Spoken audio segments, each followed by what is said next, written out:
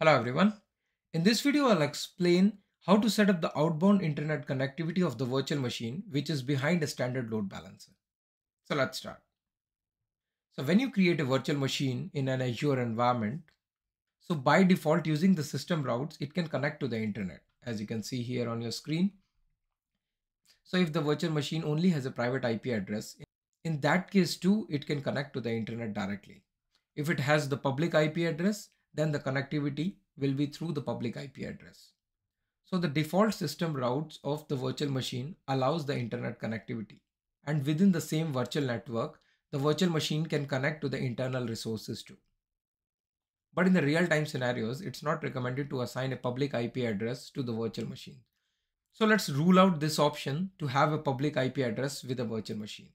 So now the default option is the direct connectivity to the internet and the internal resources connectivity will work as it is. Now there is a different scenario. You have a standard load balancer created in your environment and your virtual machine is a part of the backend pool which is assigned to the standard load balancer. In that case, the traffic coming from the internet will first go to the standard load balancer and the standard load balancer will load balance the traffic onto the virtual machine. So the incoming traffic is all fine.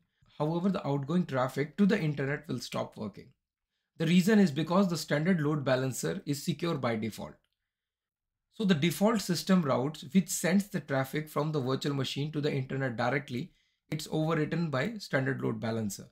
And when the virtual machine sends the outgoing traffic through the standard load balancer, there is no rule defined by default. So the standard load balancer doesn't know what to do with that traffic and it blocks it. So if you have a virtual machine behind a standard load balancer, by default, it can't connect to internet. However, the internal connectivity with the internal resources within a virtual network will still work. Standard load balancer is of two types, internal load balancer and public load balancer. So in the case of internal load balancer, if the traffic is coming from the internet, that means it can't reach to the private IP of standard load balancer and the traffic should be coming through firewall. So that means in your environment, you have a firewall. So either the traffic is coming through firewall or through the internal resources. So the incoming traffic is all fine and it will be distributed by the standard load balancer to the virtual machine.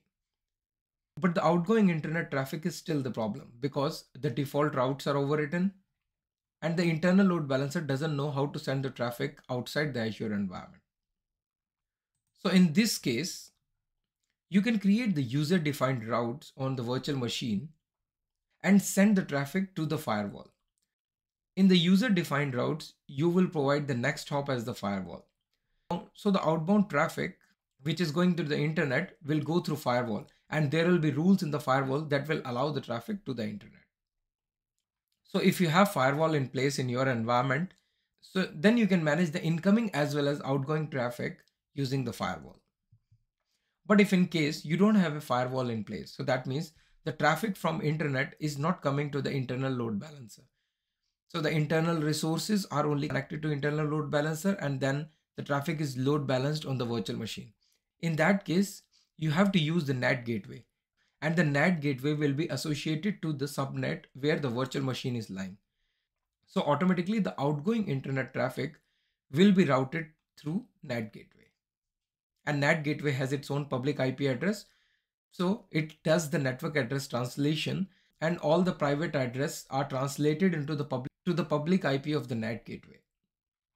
So the internet will see all the traffic coming from NAT gateway only. So these are the two options when you're using the internal load balancer. However, if you have a public standard load balancer, so in that case, the incoming traffic is fine because, because the public standard load balancer has a public IP and the incoming traffic from the internet will come through public IP and then the load balancer will distribute the traffic to the virtual machine. However, the default routes are still blocked, but you have to configure an outbound rule where the outgoing traffic coming from the virtual machine to the public IP of the standard load balancer will be routed towards the internet. So that means in case of the public load balancer, either you can use the firewall or if you don't have a firewall in your environment, then you can use the outbound rule on the public standard load balancer for the outgoing internet traffic. And this scenario is very important because most of the environment use basic load balancer. But now Microsoft is retiring basic load balancer. So you have to upgrade the basic load balancer into the standard load balancer. Basic load balancer is not secure by default. And as soon as you upgrade from basic load balancer to standard load balancer, the internet connectivity on the virtual machine stops by default. So if you have a firewall in your environment, then you can manage the outbound traffic using the firewall. Otherwise, either use the NAT gateway or the public IP of the standard load balancer. So let me show this third option of using the public standard load balancer in the lab. I am logged into Azure portal now and I have already created a test VM 001 with operating system of Windows Server 2022 data center. So let me quickly log into this virtual machine. So I'll use the Bastion to log in because, because there is no public IP attached to this virtual machine and I don't have any VPN connection. So I'll use the Bastion to connect to this virtual machine.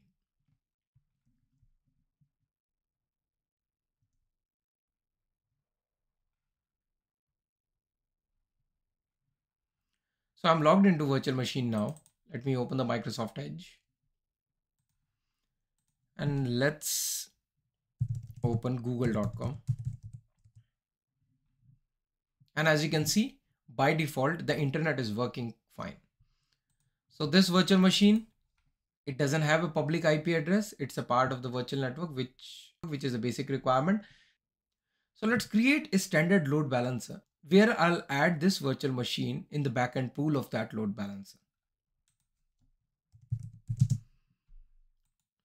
Load balancers, create a new load balancer. There is one resource group already with the name RG load balancer. I'll use that. Test load balancer 001. So there are multiple options. I'll use the standard load balancer. I'll create a public load balancer and it's regional. Because it's a public load balancer, I have to create a public IP. So test front end 01.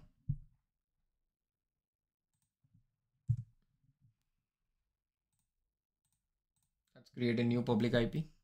Test load balancer PIP 01 and save. and save. Next, the backend pool. Let's create a backend pool first. Test backend 01 virtual network and add the NIC card. So this is the virtual machine which we have created, added and save.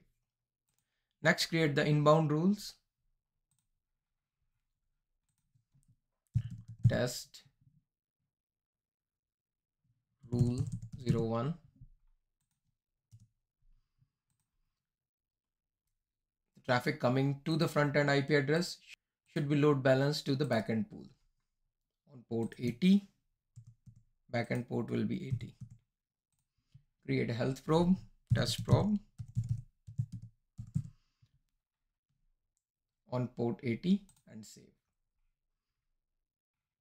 so I'm just creating inbound rules. However, I'll not use these inbound rules. I'm just showing that this is how you create a load balancer. So I'll leave this option outbound rule for now and review and create and create.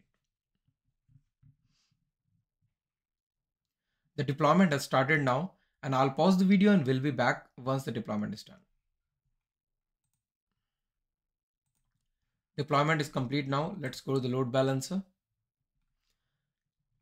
And there is a front-end IP, which is a public IP created. And in the backend pool, there's the test VM, which I have created for testing. So let's go back to this test VM again. Close it, open Microsoft Edge, google.com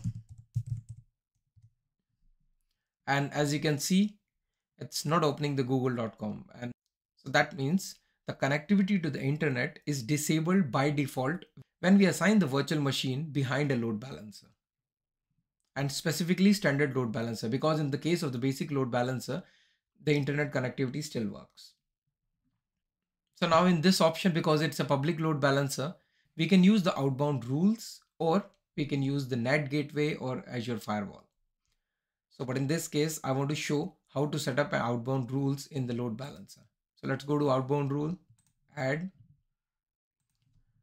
test outbound 01 front-end IP address,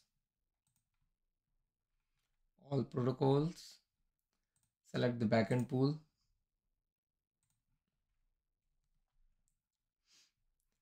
And you have to define the source netting. So I'm assigning the allocated outbound ports per instance. So there are around 63,992 ports which can be allocated. So add. So the outbound rule is created now. Let's try again. And perfect, the internet connectivity is working. So that means now the outbound traffic to the internet from the virtual machine is going through the load balancer public IP. This is not the most recommended way. There are better ways where you can use the firewall or the NAT gateway.